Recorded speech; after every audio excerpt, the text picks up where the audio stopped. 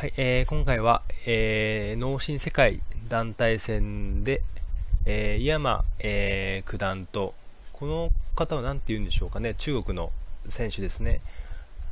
はい、その人との碁を、えー検討していきたいと思います。この方は、えっ、と、初タイトルが世界戦優勝ということで、あの、変わった、変わったというか、すごいというか、そういう、そういう棋士ですね。普通は国内のタイトルを取ってから世界優勝なんですけど、うん。まあ、去年か一昨年に世界チャンピオンになった方ですね。はい。じゃそれではお願いします。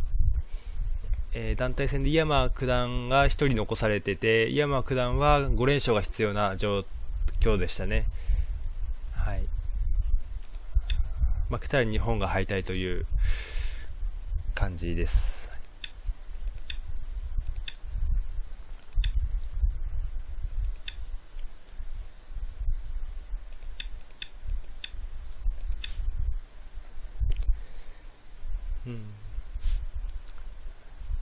そうですね。うんと、まあ、まあ、例えばこうやって、まあ、説明がちょっとね、難しいですけど、こう受けますと、今度はこう書けない感触がありますね。今度こうやると、これは飛びじゃなくて這われてこっちへ展開される可能性がありますので、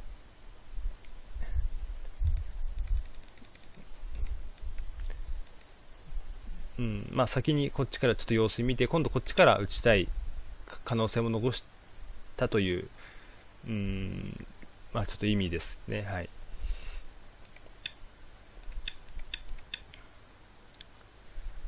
それで、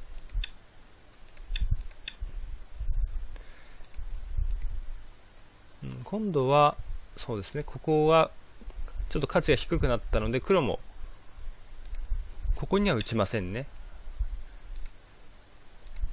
今度ここには打たない。もう5形になっています。今度黒を打つときはこっちから打ちまして、うんまあ白なんか打ってきたら、こうやって取らせて、まあ、こうやって、ここはダメばっていう感じで打つ、まあ、構想です。はい。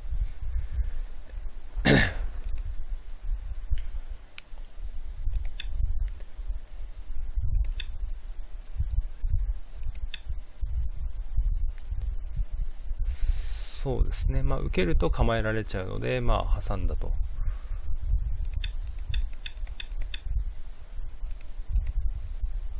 まあ、跳ねつげば普通なんですが、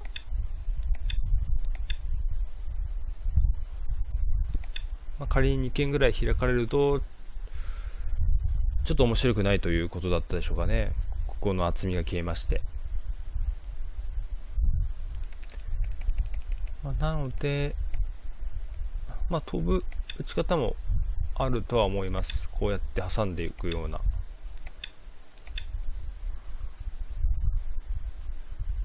うん、こういう進行もあったんじゃないかなと。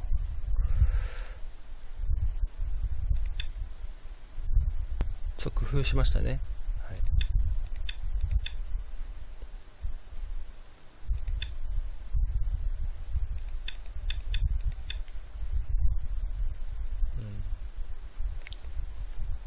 ここに、ここに打ちた打ちたかったんですね、やっぱりね。で、この切りを強調してます。うん、三々ですね。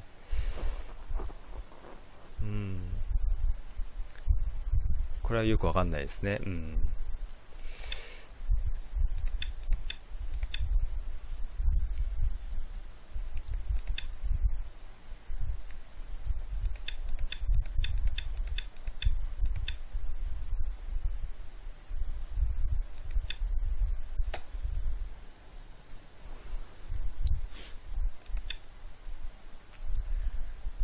うん、難しいとこですね。実戦はこう捨てた捨てて打ったんですよね。捨てて打ってこここの模様にかけたんですが捨てない打ち方とかはどうだったんでしょうかね。例えばここら辺でこう様子見たり。仮に取ってくれたらまあわかんないですけどねまあ引きは打たないんでしょうけど例えばこういう感じ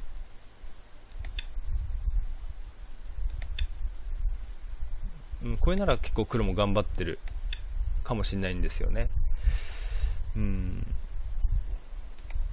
まあ、当然、いろいろと読んだはずなので、うん、どう対どう対応されるかちょっとわかんないんですけどね。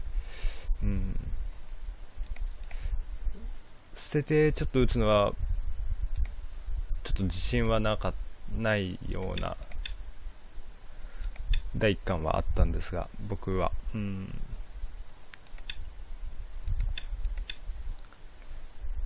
そうですね。白はここ切りぐらいで十分という打ち方をしてます。うん。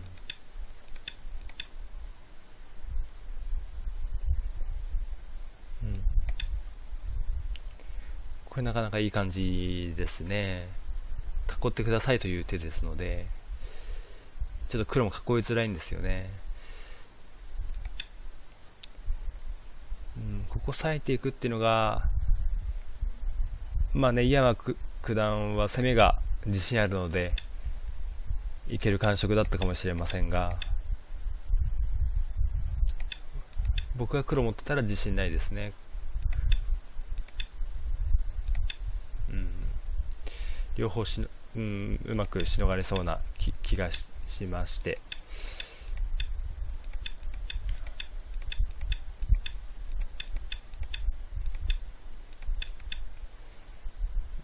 うんでまあ出来上がり図。まあここで、まあ、ここも生きて、うん、ここもこの3者別に取られてもいいのでこの本体のこの白もしのげそうです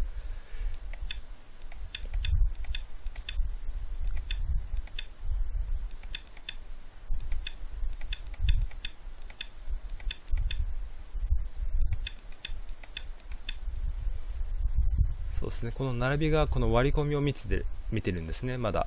割り込んで、この三子を助ける手段を見ています。うん、こうなってしまうと、ちょっとまあ全部しのがれてしまいまして、うん、ちょっと黒失敗したんじゃないかなと思いましたね。うん。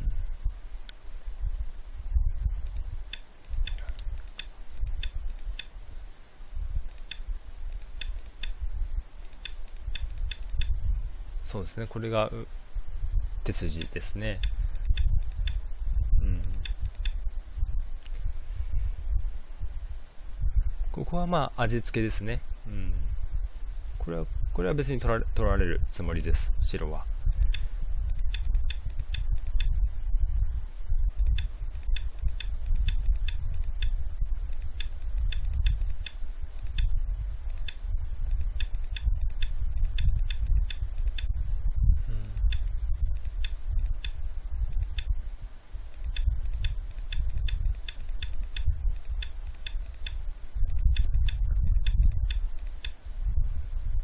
つけは鋭いですね。